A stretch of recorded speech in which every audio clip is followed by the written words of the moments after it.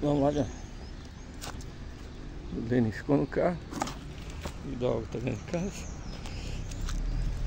Vamos lá.